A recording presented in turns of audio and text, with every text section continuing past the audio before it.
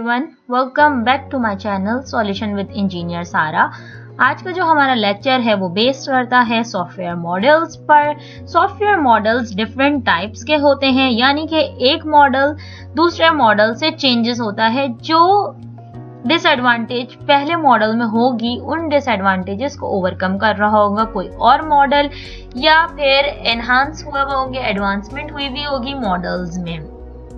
सो so, चलिए हमारा जो सबसे पहला मॉडल है वो है क्लासिक वाटरफॉल मॉडल हम इसको ग्रोथ गो थ्रू करते हैं कि what actually waterfall model is The classical waterfall model is the basic software development life cycle model. Earlier this model was very popular but nowadays it is not used.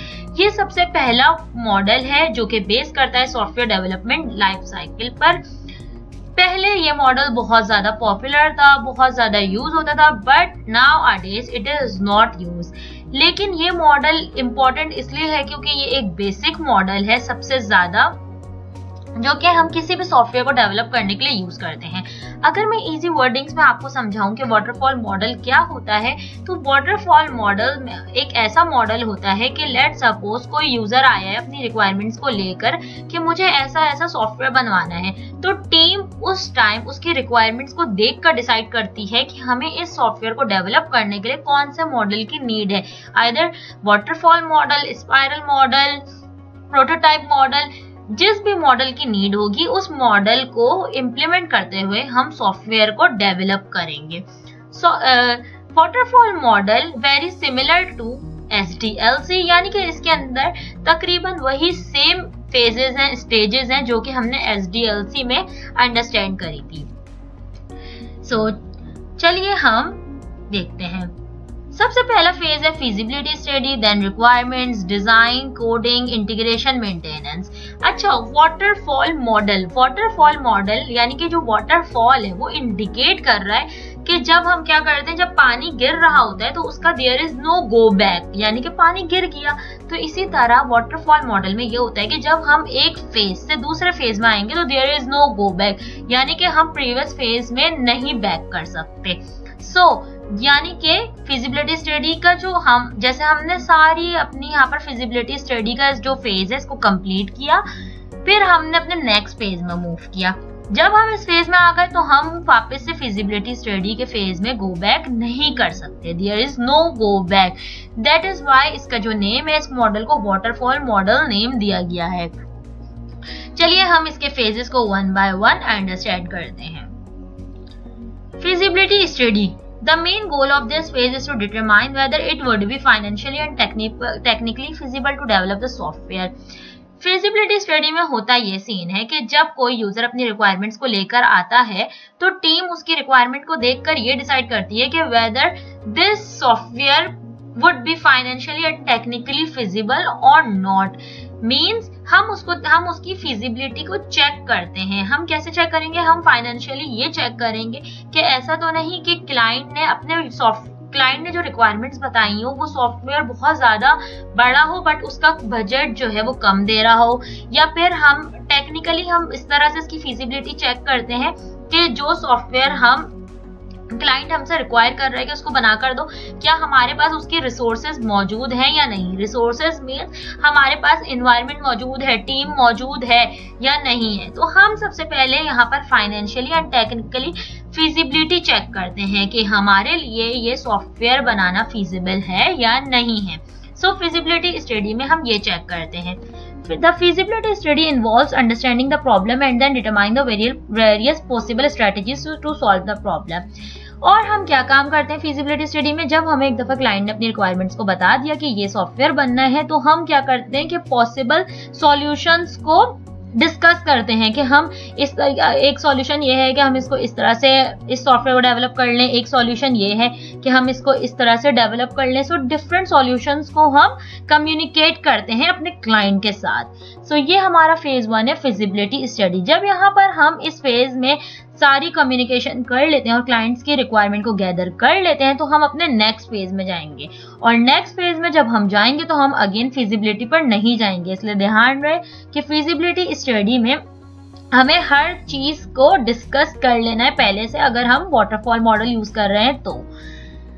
Then हम second phase पर आएँगे requirements analysis and specific again हमने इस page को S में भी discuss किया था कि once the requirement has gathered from the customer तो हमें हम क्या करते हैं? फिर हम उसका एक डॉक्यूमेंट रेडी करते हैं which is S R S document ताकि फ्यूचर में कोई डिस्प्यूट ना हो between the customer and the developer so so, यहाँ पर हम इसको थोड़ा सा इसकी डेफिनेशन को भी गो थ्रू कर लेते हैं।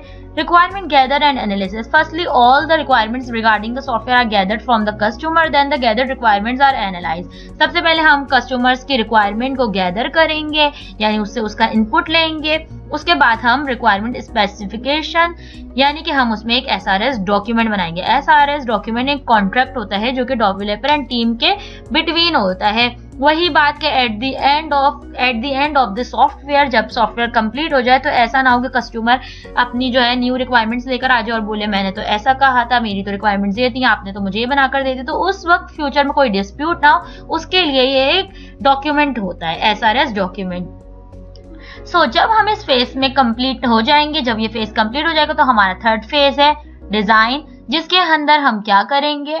हम अपने एस आर एस डॉक्यूमेंट को देखते हुए सॉफ्टवेयर का एक डिज़ाइन रेडी करेंगे, यानी कि हम डायग्राम्स बनाएँगे ब्लूप्रिंट बनाएँगे सॉफ्टवेयर के लिए। क्योंकि हम इस ब्लूप्रिंट को क्यों रेडी करते हैं? क्योंकि जब भी हम कोई ब्लूप्रिंट बनाएँगे तो फिर डेवलपर के लिए बहुत ईजी होता है उस ब्लूप्रिंट को देखते हुए सॉफ्टवेयर को रेडी करना। और हम यहाँ पर जो डॉक्यूमेंट रेडी करते हैं, जिसमें हम मल्टीपल डिज़ाइन को क्रिएट करते हैं, उस डॉक्यूमेंट को हम कहते हैं S D D a software design document जब एक दफ़ा हम सॉफ्टवेयर का डिज़ाइन बना लेंगे तो फिर कोडिंग फ़ेज़ में जाएँगे। कोडिंग फ़ेज़ में यहाँ पर in the coding phase software design is translated in source code using any suitable language यानी कि कोडर फिर क्या करेगा? उस सॉफ्टवेयर को इम्प्लीमेंट करना स्टार्ट करेगा अकॉर्डिंग टू द डिज़ाइन यानी कि जो डिज़ाइन क्रिएट हो चुका होगा प्रीवियस फ़ेज़ में, उस डिज़ाइन को देखते हुए वो उस सॉफ्टवेयर की कोडिंग करना स्टार्ट करेगा किसी भी प्रोग्रामिंग लैंग्वेज में। एंड जब कोडिंग डन हो जाएगी तो फिर हम क्या करेंगे? उसकी यूनिट टेस्टिंग करेंगे। यूनिट टेस्टिंग क्या होती है? लेट सपोज़ एक हमारा मैनेजमेंट सिस्टम है। किसी भी मैनेजमेंट सिस्टम को जब हम ओपन करते हैं तो सबसे पहले हमारे पास एक मॉड्यूल आता है लॉग इन मॉड्यूल देन हम उसमें आईडी पासवर्ड देंगे, फिर वो नेक्स्ट पेज पर जाएगा. इसी तरह जो लॉग इन मॉड्यूल है, वो हमारा एक नंबर वन मॉड्यूल है. सो यूनिट टेस्टिंग में क्या होता है, जब हम पहला मॉड्यूल डेवलप करेंगे तो उसको उसी टाइम उसकी यूनिट टेस्टिंग करेंगे कि वो मॉड्यूल ठीक से चल रहा है या नहीं चल रहा है, या कोई एरर तो नहीं आ रहा. सो इसलिए कोडिंग करते ही हम यूनिट टेस्टिंग करेंगे. जब यूनिट टेस्टिंग हो जाएगी तो हम जाएँगे इसके नेक्स्ट फ़ेज़ में. which is integration and system testing. One module is combined from another module so that integration testing can be done on combinations of modules. Integration testing में क्या होता है कि जब हम one by one unit testing कर लेंगे, यानी कि हमने एक मॉड्यूल बनाया, उस पर यूनिट टेस्टिंग कर ली, फिर हमने दूसरा मॉड्यूल बनाया, उस पर यूनिट टेस्टिंग कर ली। हम क्या करेंगे? जो दोनों मॉड्यूल्स की हमने यूनिट टेस्टिंग करी तो हम इन दो मॉड्यूल्स को आपस में कंबाइन करेंगे और कंबाइन करके चेक करेंगे कि ये मॉड्यूल ये जो दो मॉड्यूल्स आपस में कंबाइन हुए हैं, इनमें कोई एरर तो नहीं आ रहा, कोई बग तो नहीं आ रहा, या ये सही से फ़ंक्शंस चल रहे हैं या नहीं चल रहे तो इस टेस्टिंग को जो कहते हैं, वो हम कहते हैं integration testing once integration testing has been done तो हमारे पास एक पूरा सॉफ्टवेयर रेडी हो जाता है और जब एक पूरा सॉफ्टवेयर रेडी हो जाएगा तो हम उसके ऊपर कौन सी टेस्टिंग करेंगे? System testing system testing consist of three different kind of testing activities तीन तरह की होती हैं टोटल सिस्टम टेस्टिंग हम डिस्कस करते हैं. Alpha testing beta testing acceptance testing alpha testing में क्या होता है? जो कि टीम खुद से टेस्ट करके देखती है कि कोई जो सॉफ्टवेयर है वो according to user requirement develop हुआ है या नहीं हुआ। बीटा टेस्टिंग में कस्टमर खुद से उस सॉफ्टवेयर को टेस्ट करता है चेक करता है कि मैंने जो रिक्वायरमेंट बताई थी, उसी रिक्वायरमेंट के मुताबिक ये सॉफ्टवेयर बना है या नहीं बना। एक्सेप्टेंस टेस्टिंग में ये होता है कि अगेन जब हम उसको बिल्कुल डिलीवर कर रहे होते हैं सॉफ्टवेयर को जब बिल्कुल कस्टमर के पास डिप्लॉय करने का टाइम होता है तो उस टाइम ये टेस्टिंग होती है जो कि कस्टमर खुद देखता है कि मुझे इस सॉफ्टवेयर को एक्सेप्ट करना है या नहीं, या मुझे इसको रिजेक्ट कर देना है। सो so, यहाँ पर ये टेस्टिंग का फ़ेज़ जब कंप्लीट हो जाएगा तो सबसे लास्ट और very important phase in waterfall model which is maintenance maintenance phase इसलिए वाटरफॉल मॉडल में बहुत ज़्यादा इंपॉर्टेंट है इंपॉर्टेंट है क्योंकि वाटरफॉल मॉडल का जो सबसे बड़ा ड्रॉबैक है वो ये है कि हम एक फ़ेज़ में जब एक फ़ेज़ से जब बाहर निकलकर दूसरे फ़ेज़ में जाएँगे तो हम गो बैक नहीं कर सकते यानी कि हम बैक खो ही नहीं सकते। यानी कि अगर हमें यूज़र ने अगर कोई रिक्वायर यानी कि अगर यूज़र कोई रिक्वायरमेंट लेट सपोज़ के बीच में बताए कि भाई मेरे मुझे ऐसा नहीं ऐसा कर दो तो अब हम तो प्रीवियस फ़ेज़ में जा ही नहीं सकते हम तो फिजिबिलिटी स्टडी में जा ही नहीं सकते ना हम रिक्वायरमेंट वाले फ़ेज़ में जा सकते। सो so, जितनी भी कोई भी चेंजेस होगी या डिस्कशन होगी वो हम कब देखेंगे? हम मेंटेनेंस फ़ेज़ में आने के बाद देखेंगे। सो so, ये था हमारा वाटरफॉल मॉडल जिसके अंदर हम प्रीवियस बैक नहीं कर सकते।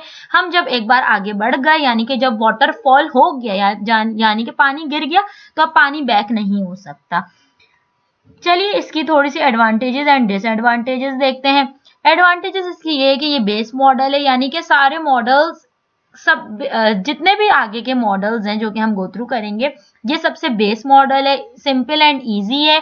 यानी कि हर जब जब हम, जब टीम वाटरफॉल मॉडल को चूज़ करती है तो उसको ये बात पता होती है कि अगर हम दूसरे फ़ेज़ पर चले गए तो हम प्रीवियस फ़ेज़ पर बैक नहीं कर सकते। तो टीम क्या करती है कि हर फ़ेज़ में उतना ही टाइम देती है, जितना उस फ़ेज़ में नीड होती है। यानी कि हर हर फ़ेज़ में क्लियरली विजिबल अंडरस्टैंड करती है कि ऐसा ना हो कि जब नेक्स्ट फ़ेज़ में मूव करें तो हमें हमें ये फील हो कि नहीं यार, हमें, हमारी जो है थोड़ी सी चीज़ें जो है मिस आउट हुई हुई है या हमें प्रीवियस बैक होना चाहिए, क्योंकि प्रीवियस बैक तो हो ही नहीं सकते, इसलिए हर फ़ेज़ पर टीम अपना प्रॉपर टाइम देती है, ताकि वो उसको सही से अंडरस्टैंड कर सके। ये प्रोजेक्ट इसकी एडवांटेज ये कि ये स्मॉल प्रोजेक्ट्स में हम यूज़ कर सकते हैं, जिसमें रिक्वायरमेंट्स बिल्कुल वेल अंडरस्टैंड और क्लियरली विजिबल हो। क्योंकि अगेन वही बात है कि हम रिक्वायरमेंट चेंजेस तो हम दे ही नहीं रहे हम यूज़र को तो ये ऑप्शन प्रोवाइड ही नहीं कर रहे कि वो अपनी रिक्वायरमेंट्स को चेंज करे। जब उसके पास सिर्फ़ फिजिबिलिटी में चांस होता है कि वो अपनी हर रिक्वायरमेंट को बता दे। जब हम नेक्स्ट फ़ेज़ में मूव करेंगे तो फिर हम उसको ये ऑप्शन देते ही नहीं है कि वो हमें बताए। ओके सो so, अब हम देखते हैं डिसएडवांटेज सबसे बड़ा जो डिसएडवांटेज है मेजर वाटरफॉल का वो है no feedback no feedback means के अगर आप पहले फ़ेज़ से दूसरे फ़ेज़ में गए तो आप यूज़र को यूज़र से फीडबैक ही नहीं ले रहे हैं।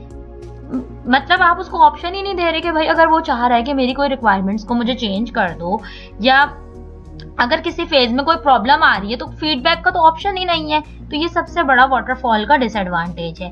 दूसरा डिसएडवांटेज है नो पैरालिज्म पैरालिज्म में क्या प्रॉब्लम आती है? कि जैसे कि डिफरेंट फेजेस हैं। अब डिफरेंट फेजेस है ना तो जैसे कि फिजिबिलिटी स्टडी है। अब जब इस फ़ेज़ पर काम हो रहा होगा ना तो आगे के सारे फ़ेज़ स्टॉप होंगे, काम तो हो ही नहीं सकता, क्योंकि हम सबसे पहले एक फ़ेज़ पर काम करेंगे, फिर हम दूसरे फ़ेज़ पर जाएँगे, फिर हम तीसरे पे जाएँगे।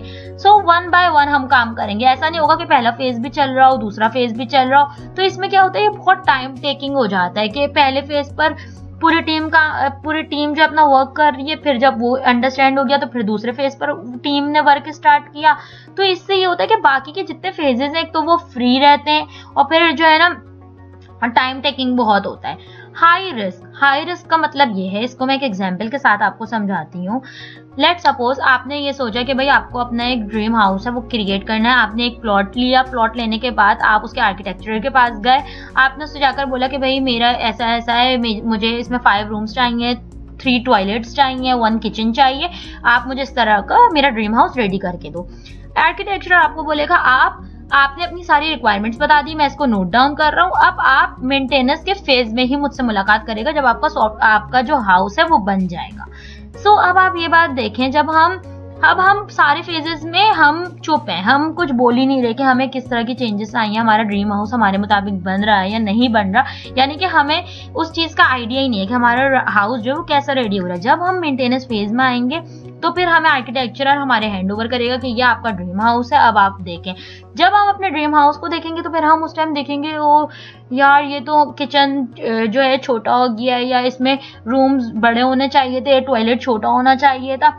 फिर जब हम एंड में ही हमारे पास ये ऑप्शन होता है कि अब हम चेंजेस करवाएँ, जैसे कि हम घर में एंटर हुआ और घर में एंटर होते ही, हम तोड़ फोड़ स्टार्ट कर दें कि नहीं भाई, इसको किचन को तोड़ दो, उसको तोड़ दो तो वो एक बहुत प्रॉब्लमेटिक हो जाती है कि एक चीज़ बन गई और फिर आप अगेन उसको चेंज करो। तो वाटरफॉल का ये बहुत बड़ा एक ड्रॉबैक है डिसएडवांटेज है, जिसकी वजह से